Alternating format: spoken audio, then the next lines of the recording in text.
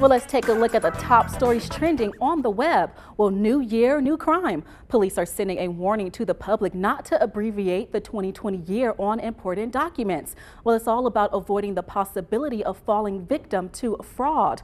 Well, police department in Maine posted this message on Facebook, earning more than 500 shares.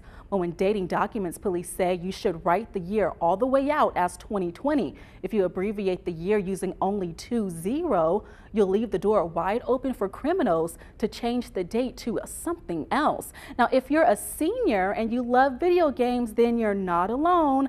An AARP survey shows that more than 10 million Americans aged 50 and older became active video gamers over the past three years.